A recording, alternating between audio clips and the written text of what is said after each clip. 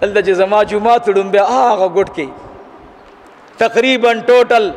د درې سلور سپو جمعه ته وړو کې په خدای قسم کما د یو بوډا په لاس کې یا په جب کې نسوار لیدل اکثر مړ دی چې کوم ژوند دی هغه ته اوسم معلوم دی نسوار به پیزار کې کې خدل من غوندې مولایان چې رالو راځئ مړه دا د اوچه شیخي ده جومات کې ناست یو شی به راوباسې ناست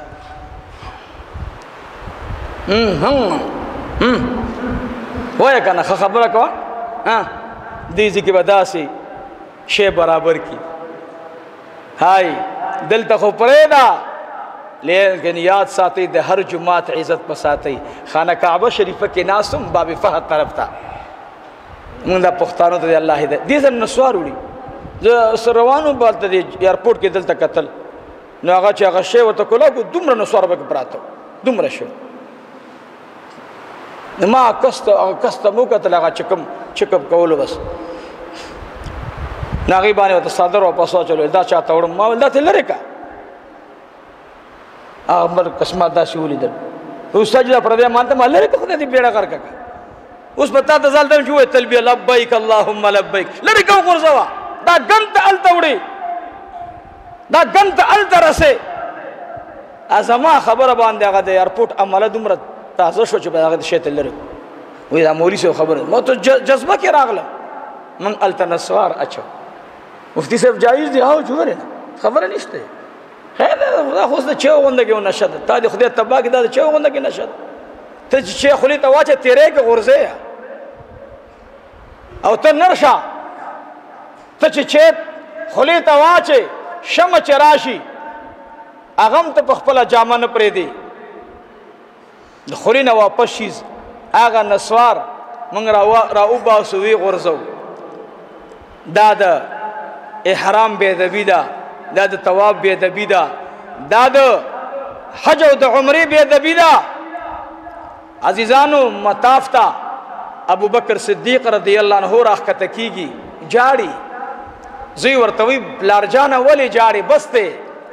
ابو بکر صدیق رضی اللہ تعالی عنہ مبارک میں ورتویل گوری اے بچڑیا یری گم پدی باندی چې ما تربو نوې چې اے ابو بکر اتم لارشا او بچی دیم ځان سره بوزا او چې کوم تا سره طواف کوي دام د ځان سره بوز زوی ورته ناشنا خبر وکړه پلار ولی ابي جهل به د دین د ورځې لسکرت تاویدلو بوتان به ور سره او د بوتانو عبادت به کولو الله ورته نه ویل چې اوزا اے پلارا ته خو د توحید او د سنت عقیدی سره طواف کې تا ته به ولي وي چې بار شه خبرې تم خیر لاغې ګوري ورته اوسه دا کسو کوي اے عبد المتینا قرار کینا یاد ساتي شاه عبد العزيز سیب لیکلی دي چا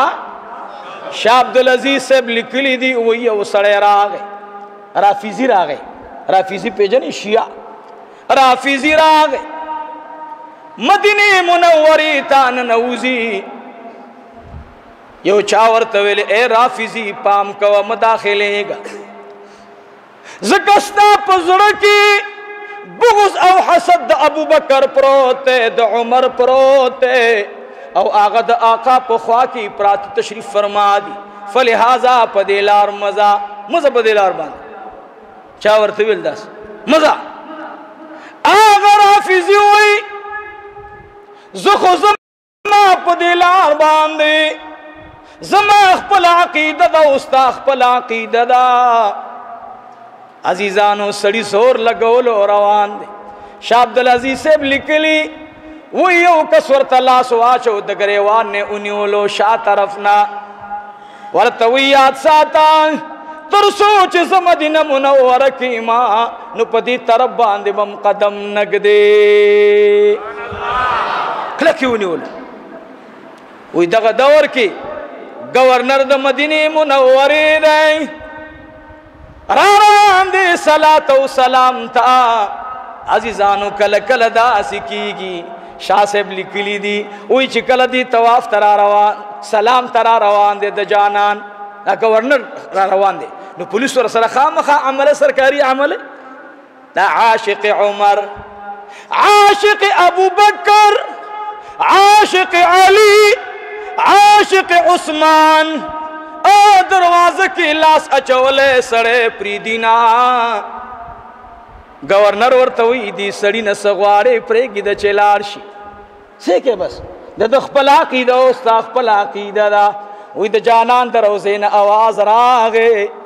شاه عبدالعزیز صاحب لیکلی دی اواز راغی اے زما عاشقا اے زما عاشقا گورنر تم وای چې تم مرازا څوک چې زما ابو بکر سره کینه کوي او د عمر سره کینه کوي مال دې مخې ته ودریږي نه گورنر په جړا شو هغه عاشق ابوبکر او عاشق عمر می الله تعالی سونه برا کړل بار چراغه صلات او سلام نه فارغ شو زرو اجیانو ته تو عام برابر کو زرو اجیانو ته ورته وې د خدای بندای تا خو دومره لویه صدقه وکړه ورته وی زما دې د خدای په ذات قسم وی ما خو ویل چې ته هیڅ هم نه خو ما ته پته ولګېده چې د یو عمر دشمن مې پرې نه خود سلام ته نو د جناب رسول الله د روزي نه جواب راغی چې دا زما د ابوبکر عاشق دی د عمر عاشق دی نو کوما سره د زرو اجیان نورم صدقه وې ما بکړې وې هما سره نور شته دی نه او هغه اعلان کو گورنر چې د دینه بعد برافیزی په دې لار باندې سلام ته نزي ولی چې د ابوبکر او د عمر رضی الله عنه گورنر سټیم بعد خوب ولیدو نبی علیہ الصلوۃ والسلام ورته وی او دا کم عاشق چې زما په دروازه کې د ابوبکر او د عمر دشمن منې کو دې ته په ورځ د قیامت باندې ابوبکر او عمر په حوض کوثر باندې ولاړی دا یاد ساتئ د مدینه آداب د بیت الله شریف آداب ابو بکر صدیق رضی الله عنه متعلق هغه سره دی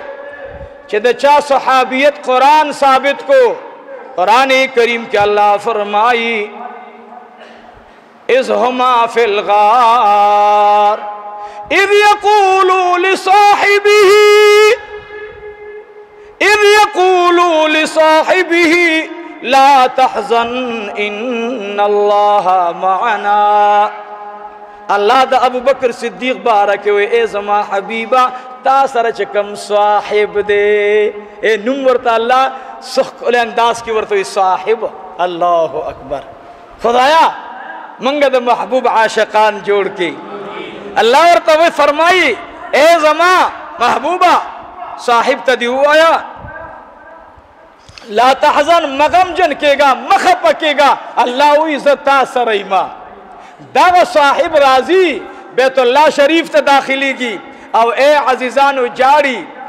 زوی ورته وی ګور هغه ابي جهل چې هغه دشمن د الله او د رسول الله هغه الله پاک د بیت الله نه نو ایستلې نو ما او تا به ولی وباسي ما او تا خو په عقیده د سراغلیو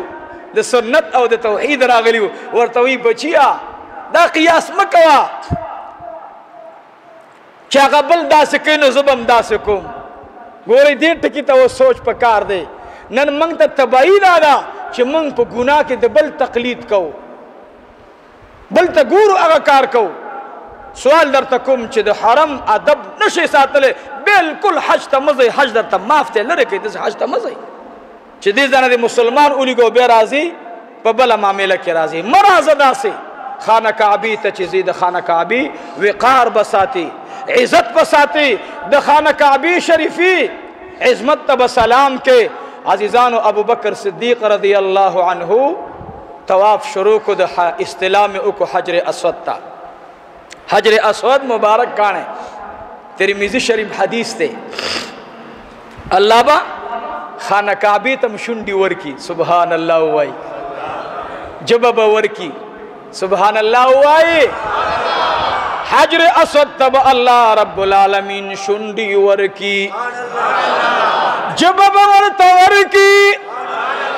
رکن یمانی تبا الله رب العالمین شونډي او جبور کی